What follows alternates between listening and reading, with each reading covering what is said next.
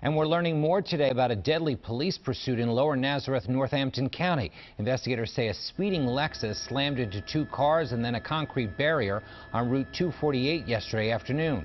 The 24-year-old driver of the Lexus, Jimmy Nguyen, was killed in the crash. Investigators say the pursuit began when Nguyen refused to pull over near Wegmans Road.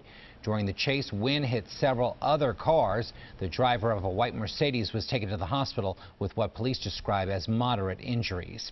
And investigators are trying to